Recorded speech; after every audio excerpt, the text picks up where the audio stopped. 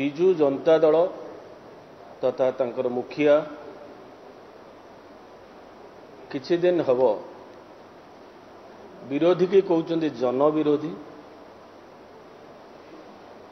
ଏବଂ ବିଜୁ ଜନତା ଦଳ ଅକ୍ଟୋବର ଦୁଇ ଗାନ୍ଧୀ ଜୟନ୍ତୀ ଠୁ ଜୟପ୍ରକାଶ ନାରାୟଣ ଜୟନ୍ତୀ ପର୍ଯ୍ୟନ୍ତ ଗାଁ ଗାଁରେ ପଦଯାତ୍ରା କରୁଛି।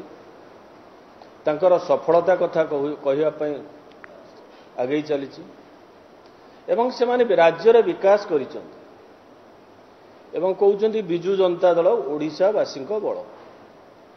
କିନ୍ତୁ ଆମେ ଆଗରୁ ବି କହିଥିଲୁ ଏବେ ବି କହୁଛୁ ବିଜୁ ଜନତା ଦଳ ଓଡ଼ିଶାବାସୀଙ୍କୁ କାଳ ଏବଂ ଓଡ଼ିଶାର ସେ ଯେଉଁ କହୁଛନ୍ତି ଜନ ଉଦାରବାଦୀ ନୁହେଁ ଯଦି କିଏ ଜନ ବିରୋଧୀ ଥାଏ ତାହେଲେ ସିଏ ହେଉଛି ନିଜେ ସ୍ୱୟଂ ବିଜୁ ଜନତା ଦଳ। ଜନବିରୋଧୀ ନୀତିରେ ଅତୀତରେ ଆପଣ ଦେଖିଛନ୍ତି ଏମାନେ ଯେତେବେଳେ ତାଙ୍କ ସଫଳତା କଥା କହିବାକୁ ଯାଉଛନ୍ତି ଅତୀତର ଗୁଡ଼ିଏ ବିଫଳତା କଥା ଆପଣ ଜାଣିଛନ୍ତି ସେ ଚିଟଫଣ୍ଡ ସ୍କାମ୍ ହଉ ଖଣି ସ୍କାମ୍ ହଉ ପାଣି ସ୍କାମ୍ ହଉ ଡାଲି ସ୍କାମ୍ ହଉ ଜଙ୍ଗଲ ଲୁଟ୍ ହଉ ଏ ସମସ୍ତ କଥା ସେତେବେଳେ ମଧ୍ୟ ସିଏଜି ଏଟା ଲୋକଲୋଚନକୁ ଆଣିଥିଲା। ଏବେ ରିସେଣ୍ଟ ଯେଉଁଦିନ ବିଧାନସଭାକୁ ଅତ୍ୟନ୍ତ ତରଭରିଆ ଭାବେ ଭଙ୍ଗ କଲେ ତାହାର କିଛି ସମୟ ପୂର୍ବରୁ ରାଜ୍ୟ ସରକାର ସିଏଜି ରିପୋର୍ଟ ଲେ କଲେ ବିଧାନସଭାରେ। ଏବଂ ଆମେ ଯେଉଁଟା କହୁଥିଲୁ ଏମାନେ ଜନ ବିରୋଧୀ ବିରୋଧୀ ଦଳ କିମ୍ବା ଯିଏ ପ୍ରଶ୍ନ କରେ କିମ୍ବା ନିଜେ ଯିଏ ସରକାରୀ ଦଳ ଆଜି ସିଏଜି ପୁନର୍ବାର ସ୍ପଷ୍ଟ କରିଛନ୍ତି ଯେ ବିଜୁ ଜନତା ଦଳ ହେଉଛି ଜନ ବିରୋଧୀ ବିଜୁ ଜନତା ଦଳ କୋଟି କୋଟି ଟଙ୍କା ଲୁଟ୍ରେ ବ୍ୟସ୍ତ ଅଛି ଏବଂ ଏ ଅର୍ଥକୁ ନିଜ ଦଳୀୟ ପାଣ୍ଠିରେ ଠୁଳ କରିଛି ତାହା ଆଜି ସ୍ପଷ୍ଟ କରିଛନ୍ତି ସିଏଜି ସିଏଜି ଯାହା ସ୍ପଷ୍ଟ କରିଛନ୍ତି ମୁଁ ସେଥିରୁ ଗୋଟିଏ ଗୋଟିଏ ଆପଣଙ୍କୁ ଆରମ୍ଭ କରୁଛି। ସିଏଜି ସ୍ପଷ୍ଟ କଲେ ଯେ ପୋଷ୍ଟ ମ୍ୟାଟ୍ରିକ ପୋଷ୍ଟ ମ୍ୟାଟ୍ରିକ ସ୍କଲାରସିପ୍ରେ ଅଠାବନ କୋଟି ଟଙ୍କା ଅଠାବନ କୋଟି ଟଙ୍କା ଏମାନେ ଲୁଟ୍ କଲେ ରାଜ୍ୟର ଏବଂ କ'ଣ କଲେ ସେଥିରେ ଫାଇଣ୍ଡିଂ ସିଏ ଦେଲେ ଯେ ପିଏମ୍ଏସ୍ ଦେୟର ସନ୍ଦେହଜନକ ଠକେଇର କାରଣ ଅନୁସନ୍ଧାନ କରାଯାଇ ଅବହେଳା କରିଥିବା ଅଧିକାରୀଙ୍କୁ ଉତ୍ତରଦାୟୀ କରାଯାଉ ଓ ପିଏମ୍ଏସ୍ ଅସୁଲ ପାଇଁ ଉପଯୁକ୍ତ ପଦକ୍ଷେପ ଗ୍ରହଣ କରାଯାଉ। ତା ଦେହରେ କୋଉଠି ରହିଛନ୍ତି ନା ବାଲେଶ୍ୱରର ବାଲେଶ୍ୱର ମୟୂରଭଞ୍ଜର ଷୋହଳଟି ଏସବୁ କଲେଜ ଯୋଉଠି ବାଲେଶ୍ୱର ଆଉ ମୟୂରଭଞ୍ଜର ରହିଛି ଏବଂ ରାଜ୍ୟର ଅନ୍ୟାନ୍ୟ ଅନୁଷ୍ଠାନ ରହିଛି। ଅଠାବନ କୋଟି ଟଙ୍କା କାହାର ଖାଇଲେ? ଏସ୍ସି ଏସ୍ଟି ଓବିସି ଏବଂ ଫିଜିକାଲି ହ୍ୟାଣ୍ଡିକ୍ୟାପ୍ଟ ଯେଉଁମାନେ ଇଭିନ୍ ଅନ୍ଧ ପିଲାଙ୍କର ମଧ୍ୟ ଏମାନେ ଖାଇଯାଇଛନ୍ତି ରାଜ୍ୟରେ କୁଆଡ଼େ ଗୋଟେ କ'ଣ ଇକୋନୋମିକ୍ ଅଫେନ୍ସ ୱିଙ୍ଗସ୍ ଅଛି ସେ ବହୁତ ଆକ୍ଟିଭଲି କାମ କରେ। ଆମର ପ୍ରଶ୍ନ ଏଠି ଇଓଡବ୍ଲ୍ୟୁ କୋଉଠି ଶୋଇଛି? ଠିକ୍ ସେଇଭଳି ଭାବେ ଆପଣ ଦେଖିବେ ପାଇଖାନା ମଧ୍ୟ ଯାହା ଫାଇଣ୍ଡିଂ ଆସିଛି ଗୋଟେ ପାଇଖାନା ମଧ୍ୟ ସେମାନେ ଯୋଉଟାକି ନାହିଁ ତାକୁ ଫିଫ୍ଟି ଫିଫ୍ଟି ପିସିରେ ଟୋଟାଲ ହରିଲୁଟ୍ ଚାଲିଛି। ଠିକ୍ ସେଇଭଳି ଭାବେ ଫାଇଣ୍ଡିଂ ରଖିଛନ୍ତି ଯୋଉଟାକି ବାରମ୍ବାର ଆମେ କହିଥିଲୁ ଯେ ରାଜ୍ୟ ସରକାର ସାଧାରଣ ଲୋକଙ୍କ ସହିତ ଖେଳୁଛନ୍ତି।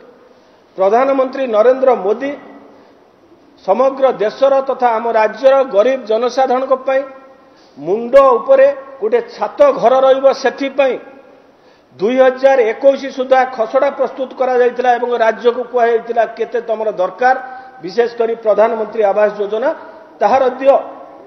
ଏବଂ ଯାହା ଦାବି ରଖିଥିଲା ରାଜ୍ୟ ସରକାର ତାହାକୁ ଅକ୍ଷରେ ଅକ୍ଷରେ ପୂରଣ କରିଛନ୍ତି କେନ୍ଦ୍ର ସରକାର। କିନ୍ତୁ ପ୍ରକୃତ ହିତାଧିକାରୀକୁ ପ୍ରଧାନମନ୍ତ୍ରୀ ଆବାସ ବଣ୍ଟନ ନ କରି କେଉଁଭଳି ଭାବେ ଚଞ୍ଚକତା କରାଯାଇଛି ଏବଂ ଯାହା ପୂର୍ବରୁ କେନ୍ଦ୍ର ସରକାରଙ୍କର ଗୋଟେ ଫ୍ୟାକ୍ଟ ଫାଇଣ୍ଡିଂ ଟିମ୍ ଗୟା ପ୍ରସାଦଙ୍କ ନେତୃତ୍ୱରେ ଆସିଥିଲା ଏବଂ ପୂର୍ବରୁ ବାରମ୍ବାର ସୂଚାଇ ଦିଆଯାଇଥିଲା ରାଜ୍ୟ ସରକାରଙ୍କୁ ଏଥିରେ କୋଟି କୋଟି ଟଙ୍କା ଦୁର୍ନୀତି ହେଇଛି ଏବଂ ଗୟା ପ୍ରସାଦ କମିଟି କହିଥିଲା ହଜାରେ କୋଟି ଟଙ୍କାରୁ ଉର୍ଦ୍ଧ୍ୱ ଦୁର୍ନୀତି ହେଇଛି। ସେହି କଥାକୁ ମାନ୍ୟବର ସିଏଜି ମଧ୍ୟ ତାଙ୍କ ରିପୋର୍ଟରେ ରଖିଛନ୍ତି। ସିଏଜିଙ୍କର କ'ଣ ଫାଇଣ୍ଡିଂ ସବୁ ରହିଛି ମୁଁ ଆପଣଙ୍କ ପାଖରେ ରଖୁଛି। ଗ୍ରାମସଭା ଦ୍ୱାରା ଚିହ୍ନଟ ହୋଇଥିବା ଆଠ ଲକ୍ଷ ଅଣଷଠି ଲକ୍ଷ ହିତାଧିକାରୀ ଅନିୟମିତ ଭାବେ ସ୍ଥାୟୀ ଅପେକ୍ଷାରତ ତାଲିକାରୁ ବାଦ୍ ପଡ଼ିଲେ ଯୋଜନାରୁ ବଞ୍ଚିତ ହେଲେ। ସ୍ଥାୟୀ ପ୍ରତିକାରତ ତାଲିକା ଦୁଇ ହଜାର ଏକୋଇଶ ସୁଦ୍ଧା ଚୂଡ଼ାନ୍ତ ହୋଇପାରିନଥିଲା ଏବଂ ରାଜ୍ୟ ଯୋଗ୍ୟ ହିତାଧିକାରୀଙ୍କୁ ସ୍ଥାୟୀ ଅପେକ୍ଷାରତ ତାଲିକାରେ ନ ନେବା ଫଳରେ ପାଞ୍ଚ ଲକ୍ଷ ସତେଇଶ ହଜାର ଲକ୍ଷ ଗୃହ ଫେରି ଯାଇଥିଲା। ଏହାଠୁ ଦୁର୍ଭାଗ୍ୟ ଆଉ କ'ଣ ହେଇପାରେ? ଠିକ୍ ସେଇଭଳି ଟୋଟାଲ ଉପରେ ବାର ଲକ୍ଷ ପଚିଶ ହଜାର ହିତାଧିକାରୀ ଏଥିରୁ ଟୋଟାଲ ବାଦ୍ ପଡ଼ିଲେ ଏଇଥିରେ କେବଳ ଚଞ୍ଚକତା କରିକି ରାଜ୍ୟ ସରକାରଙ୍କର। ଏବଂ କୋଉମାନେ ଏମାନଙ୍କୁ ସବୁ ରହିଛନ୍ତି ଠିକ୍ ସେଇଥିରେ ସେମାନେ ଫାଇଣ୍ଡିଂରେ ଦେଇଛନ୍ତି ସିଏଜି କେତେକ କ୍ଷେତ୍ରରେ ମଜୁରୀ ପ୍ରଦାନ ସନ୍ଦେହ କାରଣ ସନ୍ଦେହଜନକ କାରଣ ଓ ଗୃହ ନିର୍ମାଣ ହେବା ପୂର୍ବ ସମ୍ପୂର୍ଣ୍ଣ ହେବା ପରେ ମଧ୍ୟ ପ୍ରଦାନ କରାଯାଇଛି ଯେଉଁଥିରେ କି ସେଥିରେ ଟାଲଟୁଲ ନୀତି କରିଛନ୍ତି। ଅଠର ପଏଣ୍ଟ ଦଶ କୋଟି ଯେଉଁଟାକି ଅଠର କୋଟି ଦଶ ଅଠର କୋଟି ଦଶ ଲକ୍ଷ ଟଙ୍କା ଅନିୟମିତ ଭାବରେ ବ୍ୟାଙ୍କ ହିସାବ ଖାତାକୁ ପ୍ରଶାସନିକ ସମ୍ବନ୍ଧୀୟ ଖର୍ଚ୍ଚ କରିବା ପାଇଁ ସେମାନେ ଟ୍ରାନ୍ସଫର ବି କରିଛନ୍ତି। ମାନେ ଏଠି ଅଫିସରମାନେ ଏକଥା ବି କରିଛନ୍ତି। ଠିକ୍ ସେଇଭଳି ଭାବେ ଜିଲ୍ଲା ତଥା ବ୍ଲକ ସ୍ତରରେ ଅଭିଯୋଗର ପ୍ରକୃତ ସମାଧାନ ସୁନିଶ୍ଚିତ କରାଯାଇ ନାହିଁ। ଏବଂ ଆଉ ଗୋଟିଏ କହିଲେ ଯେଉଁଟା ବାର ହଜାର ଟଙ୍କାର ଶୌଚାଳୟ ମ୍ୟାକ୍ସିମମ୍ ଜାଗା ସିଏ ନାହିଁ ବୋଲି ତାଙ୍କର ଯେଉଁଟାକି ସିଏଜି ତାଙ୍କ ଫାଇଣ୍ଡିଂରେ ରଖିଛନ୍ତି। ଏବଂ ବିଶେଷ କରି ଯେଉଁଟା ସୋସିଓ ଇକୋନୋମିକ୍ କାଷ୍ଟ ସେନ୍ସସ୍ ଅନୁସାରେ ଗ୍ରାମସଭା ଦ୍ୱାରା ସ୍ଥରୀକୃତ ହୋଇଥିଲା କେତେ ମାର୍ଚ୍ଚ ଦୁଇ ହଜାର ଏକୋଇଶ ସୁଦ୍ଧା ସତେଇଶ ଲକ୍ଷ ପଇଁଚାଳିଶ ହଜାର ଲକ୍ଷ ଯୋଗ୍ୟ ହିତାଧିକାରୀଙ୍କୁ ପିଏମ୍ଆଇ ଗ୍ରହଣ ପାଇଁ ଚିହ୍ନଟ କରାଯାଇଥିଲା। ଏଟା ଯେଉଁଟା ଆମେ କହିଛୁ ଯେଉଁଟା ରାଜ୍ୟ ସରକାର ଅତୀତରେ ବିଧାନସଭାରେ କହିଥିଲେ ସେହି ସମାନ କଥା ଏଠି ସିଏଜି ଦର୍ଶାଇଛନ୍ତି। ଯଦ୍ୟପି ଗ୍ରାମସଭା ସତେଇଶ ଲକ୍ଷ ପଇଁଚାଳିଶ ହଜାର ଯୋଗ୍ୟ ହିତାଧିକାରୀଙ୍କୁ ଚିହ୍ନଟ କରିଥିଲା ମାତ୍ର ରାଜ୍ୟର ସ୍ଥାୟୀ ଅପେକ୍ଷାରତ ସାରଣୀରେ ମାର୍ଚ୍ଚ ଦୁଇ ହଜାର ଏକୋଇଶ ସୁଦ୍ଧା ଅଠର ଲକ୍ଷ ଛୟାଅଶୀ ଲକ୍ଷ ହିତାଧିକାରୀ ଥିଲେ ଯାହାଫଳରେ କି ଆଠ ଲକ୍ଷ ଅଣଷଠି ଲକ୍ଷ ଆଠ ଲକ୍ଷ ଅଣଷଠି ହଜାର ହିତାଧିକାରୀ ଗ୍ରାମସଭା ଦ୍ୱାରା ଯୋଗ୍ୟ ବିବେଚିତ ହେଉଥିଲେ ମଧ୍ୟ ସେମାନେ ବାଦ୍ ପଡ଼ିଲେ। ଏବଂ ବିଶେଷ କରି କର୍ମଚାରୀମାନେ ଯେଉଁମାନେ ଫିଲ୍ଡରେ ଇନ୍ସପେକ୍ସନ କଲେ ଦଶ ହଜାର ଆଠଶହ ବାଉନ ହିତାଧିକାରୀ ତନ୍ମଧ୍ୟରୁ ଅଠେଇଶଶହ ଛୟାଅଶୀ ଏସ୍ସି ଏସ୍ଟି ହିତାଧିକାରୀ ୟାଙ୍କୁ ମଧ୍ୟ ବାଦ୍ ଦିଆଗଲା। ତାହେଲେ ରାଜ୍ୟରେ କ'ଣ ଚାଲୁଛି? କୋଉମାନେ ଏଥିରେ ଥିଲେ? ସେ ଗ୍ରାମର ଜିଆର୍ଏସ୍ଠୁ କଲେକ୍ଟର ପର୍ଯ୍ୟନ୍ତ କିଏ ଆର ଏଥିପାଇଁ ଦାୟୀ ହେବେ ତାହା ମଧ୍ୟ ରାଜ୍ୟ ସରକାର ସ୍ପଷ୍ଟ କରିବା ଉଚିତ। ଏବଂ ବିଶେଷ କରି ଏଥିରେ ମୁଁ ଆପଣଙ୍କ ପାଖରେ ଭାତ ହାଣ୍ଡିରୁ ଖାଲି ଗୋଟିଏ ଚିପିଲେ କିଛି ଏକ୍ଜାମ୍ପଲ ରଖୁଛି। ସିଏଜି ମଧ୍ୟ କିଛି ରଖିଛନ୍ତି ସିଏଜି ତ ଗୁଡ଼େ ଘର ମଧ୍ୟ ଦେଇଛନ୍ତି ଗୋଟିଏ ଘରରେ ପୁରୁଣା ଘର ଦଦରା ଘର ସବୁ ଅଛି କୋଉଭଳି ଭାବେ ତାକୁ ଘର ଦେଖେଇକି ଆପଣ ଦେଖନ୍ତୁ ଘର ଦେଖେଇକି ସବୁ କେମିତି ବିଲ୍ କରାହେଇଛି ଏସବୁ ଅଛି। ତା ବାହାରେ ତା ବାହାରେ ଅଛନ୍ତି ଚାନ୍ଦବାଲି ବ୍ଲକ। ଖାଲି ଓଡ଼ିଶାର ମୁଁ ଗୋଟିଏ ବ୍ଲକ କହୁଛି ଚାନ୍ଦବାଲି ନିର୍ବାଚନ ମଣ୍ଡଳୀ ଭଦ୍ରକ ଜିଲ୍ଲାର ଚାନ୍ଦବାଲି ବ୍ଲକ। ଚାନ୍ଦବାଲି ବ୍ଲକରେ ଜିତେନ୍ଦ୍ର ବିଶ୍ୱାଳ ସରପଞ୍ଚ ସେ ସରପଞ୍ଚ ହେଉଛନ୍ତି ଖେରଙ୍ଗର। ଜିତେନ୍ଦ୍ର ବିଶ୍ୱାଳ ହେଉଛନ୍ତି ସରପଞ୍ଚ ଖେରଙ୍ଗର।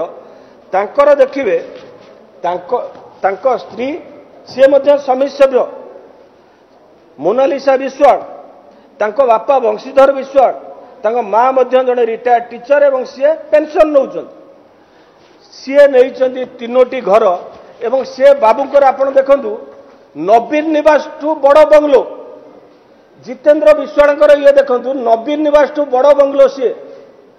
ତାଙ୍କର କାର୍ ବି ଅଛି କିଆ ବଡ଼ କାର୍ ବି ଅଛି ହୋଣ୍ଡାର ବଡ଼ ମୋଟରସାଇକେଲ ଅଛି ସେ ମହାଶୟ ନେଇଛନ୍ତି ତିନି ତିନୋଟି ଘର ଏବଂ ଏ କଥା କମ୍ପ୍ଲେନ୍ ଦେଲା ପରେ ମଧ୍ୟ କଲେକ୍ଟର କି ଶୁଣି ନାହାନ୍ତି ଠିକ୍ ସେଇଭଳି ଭାବେ ଇଏ ହେଉଛନ୍ତି ବିବେକାନନ୍ଦ ଧର ସମିତି ସଭ୍ୟ। ଇଏ ସମିତି ସଭ୍ୟ ବିବେକାନନ୍ଦ ଧର। ଇଏ ନିଜକୁ ଇଏ ହେଉଛନ୍ତି ଜେନେରାଲ କାଷ୍ଟ ଇଏ ନିଜକୁ ଏସ୍ସି ଦର୍ଶାଇକି ଘର ନେଇଛନ୍ତି। ଇଏ ଦଳିତ ମାନଙ୍କ ଘର ହଡପ କରିଛନ୍ତି ବିଜୁ ଜନତା ଦଳର ଇଏ ହେଉଛନ୍ତି ଆଗ ଧାଡ଼ିର ନେତା ସମିତ ସଭ୍ୟ ଠିକ୍ ସେଇଭଳି ଭାବେ ବହୁତ ଅଛି ଯୋଉଟାକି ଏସ୍ସି ଏସ୍ଟି ଏବଂ ମାଇନରିଟି ଏବଂ ଅଦର୍ସ ଅଦର୍ସ ଜାଗାରେ ମ୍ୟାକ୍ସିମମ୍ ଭଦ୍ରକ ଜିଲ୍ଲାରେ ହଡପ କରିଛନ୍ତି ଯେଉଁମାନେ କି ଚାନ୍ଦବାଲିରେ ସେମାନେ ନିଜକୁ ଏସ୍ସି ଦେଖେଇଛନ୍ତି ଜେନେରାଲ ଆର ହିସାବ ଥୁଆ ହେଇଛି ସବୁଯାକ ଖାତାରେ ଇଏ ହେଉଛନ୍ତି ଗୋଟିଏ ଭାତ ହାଣ୍ଡିରୁ ଗୋଟିଏ ଚିପିଲେ ଆମେ ଏଇଥିରୁ ସ୍ପଷ୍ଟ ଅନୁମୟ ଏମାନେ କ'ଣ କରନ୍ତି? ଇଏ ହେଉଛନ୍ତି ଖେରଙ୍ଗ ପଞ୍ଚାୟତ ବେଣୁଧର ବିଶ୍ୱାଳ ଏବଂ ତାଙ୍କ ପୁଅ ଜିତେନ୍ଦ୍ର ବିଶ୍ୱାଳ ଇଏ ହେଲେ ଧର। ଏଇଭଳି ଭାବେ ମ୍ୟାକ୍ସିମମ୍ ଜାଗାରେ ପ୍ରଧାନମନ୍ତ୍ରୀ ଆବାସକୁ କୋଉଭଳି ଭାବେ ହରିଲୁଟ୍ କରାଯାଇଛି। ରାଜ୍ୟରେ ପଚରା ଯାଇଥିଲା। ଏବେ ରିସେଣ୍ଟ ଗତ ବିଧାନସଭା ଅଧିବେଶନରେ ପଚରା ଯାଇଥିଲା ଯେ ଦୁଇ ହଜାର ମସିହା ପରଠୁ ବର୍ତ୍ତମାନ ସୁଦ୍ଧା କେତେ ଘର ଦିଆଯାଇଛି ରାଜ୍ୟ ସରକାର ରାଜ୍ୟ ସରକାର ହିସାବ ଦେଲେ ଯେ ପ୍ରଧାନମନ୍ତ୍ରୀ ଆବାସ ଯୋଜନା ଗ୍ରାମୀଣ ସତେଇଶ ଲକ୍ଷ ତେତିଶ ହଜାର ନଅଶହ ଚାରିଟି ଦିଆଯାଇ ସାରିଛି ଇଏ ରାଜ୍ୟ ସରକାରଙ୍କ ହିସାବ ବିଧାନସଭାରେ ଠିକ୍ ସେଇଭଳି ଭାବେ ଇନ୍ଦିରା ଆବାସ ଯୋଜନାରେ ପୂର୍ବରୁ ଯାହା ଚାଲୁଥିଲା ଦୁଇ ହଜାର ଷୋହଳ ପରଠୁ ଷୋହଳ ଲକ୍ଷ ଏକଚାଳିଶ ହଜାର ଦିଆ ସରିଛି ଯୋଉଟାକି ବିଜୁ ପକ୍କା ଘର ମୋ କୁଡ଼ିଆ ସିଏ କହୁଛନ୍ତି ସେଥିରେ ଦିଆହେଇଛି ଚାରି ଲକ୍ଷ କୋଡ଼ିଏ ହଜାର। ଟୋଟାଲ ଦିଆଯାଇଛି ଅଡ଼ଚାଳିଶ ଲକ୍ଷ ସତାବନ ହଜାର ପାଞ୍ଚଶହ ଅଣାନବେ। ଏତିକି ଘର ବର୍ତ୍ତମାନ ସୁଦ୍ଧା ଦିଆ ସରିଛି ରାଜ୍ୟର ଦୁଇ ହଜାର ଏଗାର ସେନ୍ସସ୍ ଅନୁଯାୟୀ ରାଜ୍ୟରେ ହେଉଛନ୍ତି ଚାରି କୋଟି କୋଡ଼ିଏ ଲକ୍ଷ ଲୋକ। ସେଥିର ଏସ୍ସିସିସି ଡାଟା ଅନୁସାରେ ଏ ଘର ସବୁ ଦିଆଯାଇଛି। ଯଦି ପଞ୍ଚ- ତାହେଲେ ଓଡ଼ିଶାରେ ପରିବାର ହୁଏ ନବେରୁ ପଞ୍ଚାନବେ ଲକ୍ଷ। ତାହେଲେ ଏ ପରିବାର ଅର୍ଦ୍ଧାରୁ ଅର୍ଦ୍ଧାଧିକ ପାଇପାରିବା କଥା। କିନ୍ତୁ ବାସ୍ତବିକତା ସ୍ଥଳ ବିଶେଷରେ ଦେଖାଯାଉଛି ଯେତେବେଳେ ଆପଣଙ୍କର ଦେଖିବେ ଗୋଟେ ନ୍ୟାଚୁରାଲ କାଲାମିଟି ବାତ୍ୟା କି ବନ୍ୟା ଆସିବ ସେତେବେଳେ ଆପଣଙ୍କ ଟେଲିଭିଜନ ଚ୍ୟାନେଲ ଏବଂ ସରକାର ଯେତେବେଳେ ଜିରୋ କାଜୁଆଲିଟି କରିକି ଲୋକଙ୍କୁ ଉଠାନ୍ତି ସେତେବେଳେ ବାସ୍ତବିକତା ସରକାରଙ୍କର ମୁଖଟା ଧରାପଡ଼େ। ତାହେଲେ ଫିଫ୍ଟି ପରସେଣ୍ଟରୁ ଏଭବ ଘର ଦେଇଥିଲେ ସୁଦ୍ଧା ସେମାନେ ପାଇପାରି ନାହାନ୍ତି। ଏବଂ ସରକାର ଆ ଭିତରେ ଆଉ ଗୋଟେ ଚଞ୍ଚକତା କଲେ ଯେ ଆମ ଘର ଯୋଜନା କଲେ। ରିସେଣ୍ଟ ଯେତେବେଳେ ଏସବୁ କାଳେ ଭୁଲି ଯାଇଥିବେ ଲୋକଙ୍କୁ ଆଉ ଗୋଟେ ଚଞ୍ଚକତା ଦେଖେଇଲେ ଆମ ଘର ଯୋଜନା। ଆମ ଘର ଯୋଜନାରେ କହିଲେ କ'ଣ ନା ଆମେ ଲୋକଙ୍କୁ ଇଣ୍ଟରେଷ୍ଟରେ ଜିରୋ ଇଣ୍ଟରେଷ୍ଟରେ ଆମେ ଦେବୁ ଲୋ- ଦୁଇଶହ କୋଟି ଟଙ୍କା ବଜେଟ୍ କଲେ। ଆପଣ ଆଶ୍ଚର୍ଯ୍ୟ ହେବେ ଆମ ଘର ଯୋଜନାରେ ଆମ ଘର ଯୋଜନାରେ ଟୋଟାଲ ଆପ୍ଲିକାଣ୍ଟ ଥିଲେ ତିନି ଲକ୍ଷ ଅଣଷଠି ହଜାର ଚାରିଶହ ପନ୍ଦର। ଇଏ ବିଧାନସଭା ପ୍ରଶ୍ନ ମୁକେଶ ମହାଲିଙ୍କର ଏଇ ଗତ ବିଧାନସଭାରେ। ଲକ୍ଷେ ଛପନ ହଜାର ବ୍ୟାଙ୍କକୁ ଦିଆଗଲା ଏବଂ ପାଇଲେ କେତେ? ମାତ୍ର ହଜାରେ ସଇଁତିରିଶ ଜଣ ବର୍ତ୍ତମାନ ସୁଦ୍ଧା ଆମ ଘର ଯୋଜନାରେ। ବଡ଼ ଯେତିକି ଆଡଭର୍ଟାଇଜମେଣ୍ଟ ଖର୍ଚ୍ଚ ସିଏ କରିଛନ୍ତି ସେତିକି ମଧ୍ୟ ଲୋକେ ପାଇନାହାନ୍ତି ସାଧାରଣ ଲୋକେ ପାଇନାହାନ୍ତି। ଇଏ ହେଉଛି ବିଜୁ ଜନତା ଦଳର ବାସ୍ତବିକ ମୁଖଟା। ଏବଂ ଏ ଯୋଉ ସିଏଜି ରିପୋର୍ଟ ଆପଣ ଦେଖିବେ ଏ ଯୋଉ ସିଏଜି ରିପୋର୍ଟ ଆଜି ନୂଆ ନୁହେଁ ଏ ସିଏଜି ରିପୋର୍ଟ ପୂର୍ବରୁ ଜଣେ ଏଠି ଥିଲେ ପିଏଜି ପ୍ରିନ୍ସିପାଲ ଆକାଉଣ୍ଟ ଜେନେରାଲ ସିଏ ତାଙ୍କ ନାଁ ହେଉଛନ୍ତି ଅମର ପଟ୍ଟନାୟକ ସିଏ ମଧ୍ୟ ପୂର୍ବରୁ ଫାଇଣ୍ଡିଂ ଦେଇଥିଲେ ରାଜ୍ୟରେ କୋଉଭଳି ଭାବେ ଏଇଠି ବଡ଼ ଜମି ଘୋଟାଲା ହେଇଥିଲା କୋରାପୁଟ ଏବଂ କଳାହାଣ୍ଡିରେ କେମିତି ଏନ୍ଆରଜିଏସ୍ ର ବ୍ୟାପକ ଦୁର୍ନୀତି ହେଇଥିଲା ସେ ଫାଇଣ୍ଡିଂ ସିଏ ଦେଇଥିଲେ। ୱାର୍ସ ଓ ଇରିଗେସନ ଡିପାର୍ଟମେଣ୍ଟରେ କୋଉଭଳି ଭାବେ ଚଞ୍ଚକତା କରିକି ବ୍ୟାପକ ଅର୍ଥ ହୁରୁଲୁଟ- ହରିଲୁଟ ହେଇଥିଲା ସେ ଫାଇଣ୍ଡିଂ ଦେଇଥିଲେ। କିନ୍ତୁ ବିଜୁ ଜନତା ଦଳକୁ ପଚାରିଲେ ସିଏ କ'ଣ କରେ? ଆଇଦର ଯିଏ ପ୍ରଶ୍ନ ପଚାରିବ ତାଙ୍କ ଉପରେ ଆକ୍ସନ ନେବା ପାଇଁ କ'ଣ ବ୍ୟବସ୍ଥା କରିବେ?